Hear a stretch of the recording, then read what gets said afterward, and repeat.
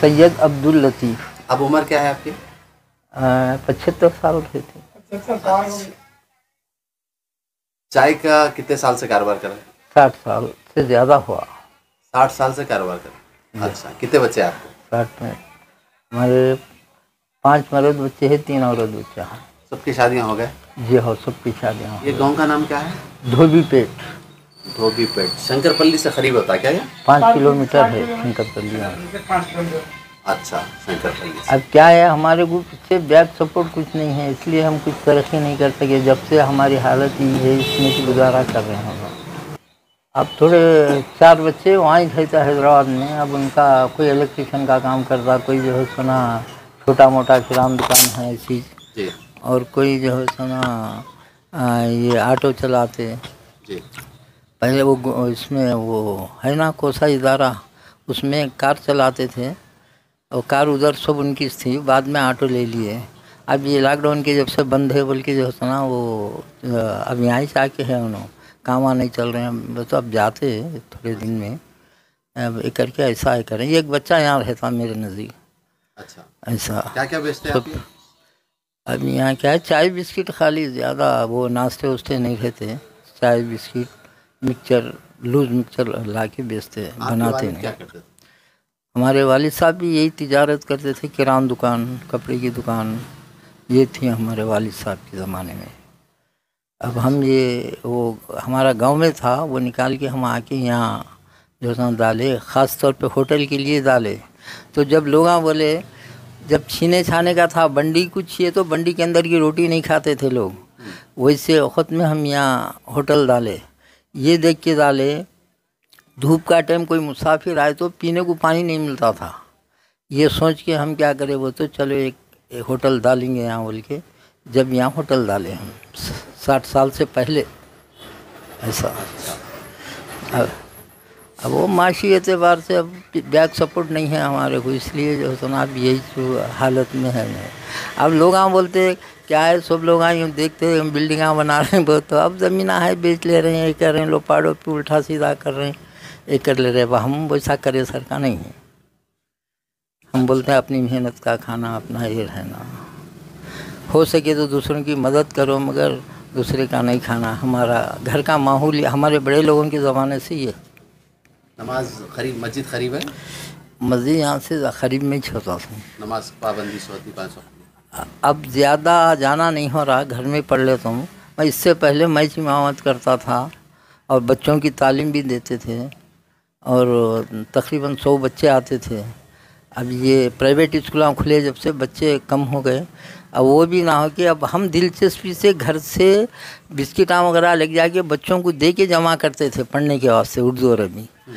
अब ये आए, अब लोग क्या है, तनख्वाह किसे मतलब बाहर से ला के रखे उस लोगों को? बच्चे पढ़े से हो, नहीं पढ़े तो उनको कोई मतलब नहीं है। इसलिए अब वो लोग उतना इंटरेस्ट लेते नहीं हैं। अब पढ़ रहे हैं तीस बच्चे, चालीस बच्चे आते हैं अभी भी। नहीं तो जब सौ बच्चे आते हैं हम पढ़ाते खुद। सेहत कैसी है आपकी? अल्हम्दुलिल्लाह अल्लाह का फजल है अभी भी सेहतमंद है। हमारा पहले के वैसा ज़्यादा भागम दूरी नहीं होती है। हाँ, ऐसा है। चाय आप खुद बना लेते हैं? और चाय मैं खुद बनाता हूँ। ये गाँव का नाम क्या है? धोबी पेट। यहाँ पर मुसलमानों के कितने मकान आता है? तकरीबन डेढ़ सौ के करीब रहते। अच्छा। डेढ़ सौ के करीब रहते। मुसलमानों के। जी हो। हैदराबाद यहाँ से कितने किलोमीटर है? यहाँ से चालीस किलोमीटर। अच्छा आपका हैदराबाद आना जाना होता? हो अभी हफ़्ते में कम से कम महीने में दो तीन मरतबा जाते आते बच्चे हैं ना वहाँ बच्चों को नहीं जाते आते। रहते अल्हम्दुलिल्लाह नमाज़ तो किसी सूरत में ज़रूरी है। इसीलिए नमाज़ के लिए हम क्या है वो तो यहाँ गाँव में नमाज़ का तरीक़ा माहौल नहीं है। मस्जिद भी वीरान थी बोल के मस्जिद की खिदमत करना, साफ़ सुथरा, झाड़ू झटका, अजान नमाज़, पंजोख्ता, अजान देना नमाज़, ये करना। लोगों को नमाज़ के लिए जमा करने के लिए मैं, हमारे बचपन में भी मैं, हमारे साथियों को, आठ दस साल की उम्र में, दस ग्यारह साल तक मैं, हमारे साथ के बच्चों को जो है ना उठाता था। लोग लड़ने आते हैं हमारे माँ बाप से। हमारे बच्चों को ख़राब कर रहा तुम्हारा बच्चा है कि ऐसा वैसा बोल के। तो उसके बाद थोड़े दिन में हैदराबाद चले गया था। रेलवे में टेम्परवारी काम करने। एक दो साल करे उसमें क्या है साल बराबर होने देते थे ब्रेक करते थे। अच्छा। वो भी बहुत कम तनख्वाह थी। मैं बोला ये इतनी तनख्वाह तो अपने बिज़नेस जब आपकी? मैं जब सोलह साल में था। अठारह साल बोल के लिखा दे के ये कह रहे वहाँ से सीधा आके जो है यहाँ होटल लगाया साठ साल पहले। जी हो साठ पैंसठ साल हो रहा है। अच्छा तो वहाँ क्या है, तनख्वाह टेम्परवरी बहुत कम तनख्वाह। तो हम बोले, ये एक हफ़्ते में आठ दस दिन में कमा लेते फिर महीना भर उनकी चाकरी करना, फिर जो होता ना ब्रेक करते, ये होता। बोल के जो होता ना वो कई को परेशानी बोल के ला के फिर हम यहाँ, ये दुकान डाले गाँव में थी हमारी दुकान, किरान दुकान। और ये एक भी है और एक क्या है हमारा ख़ास तौर पे सोचना ये था ये दुकान डालते खुद में छीना छाना था छिए तो नहीं खाते थे लोग। अच्छा। वैसे वक्त में डाले तो लोग हमसे बोले अरे ये टाइम में तुम कौन पीते चाय तुम्हारे कने? बंडी को छिए तो बंडी में की रोटी नहीं खाते तुम्हारी चाय कौन पीते हैं? लोगों की। ये जब दौर ऐसी था छीने छाने का दौर था तो हम बोले भाई मुसाफिर कोई आया तो पीने को पानी नहीं मिल रहा। लोग घना बंद कर देते खेतों को चले जाते हैं। तो ऐसे इसमें एक तो अपने नेकी की नेकी होती लोगों की मदद करे वैसा होता अपना बिज़नेस भी चलता बोल के वो सोचिए हम यहाँ डाले तो जब पाँच पैसे चाय थी अच्छा। हाँ ऐसा। अब छः रुपये है। छः रुपये। पाँच पैसे थी जब चाहिए। जी हो। ख्वाहिश तो है मगर इसबाब नहीं है वैसे हमारे। अच्छा। उम्र हज करना तो ज़रूरी है। मगर क्या है, वो तो अपने असबाब वैसे नहीं हैं। अब बच्चों की परवरिश, तालीम, तरबियत, ये वो, इसलिए हम ज़्यादा पढ़ा भी नहीं सके बच्चों को।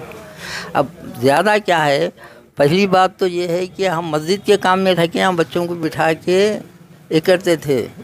उसके बावजूद लोग जो है, सुना इन मस्जिद में किधर भी नहीं बस रहा इनको ज़मीन जायदाद नहीं है इन खाने सिक्के रहे हैं, बल्कि इल्ज़ामा लगा है उसके बावजूद भी हम ये करके फिर के लोगों के घरों पे जाना आधे गाँव को उठाना आके अजान देना फिर अजान दे के जाके आधे गाँव को उठाना फिर आके नमाज़ पढ़ना। मकसद क्या था? लोग नमाज़ के पाबंद हो जाए। पाबंद होना। लोग लोगों में नमाज़ का जस्तजू नहीं थी। और उर्दू अरब भी पढ़ने का जो है सना ये नहीं था नहीं आता था। तो वैसे वक्त में हम मदरसा क़ायम करें मस्जिद में।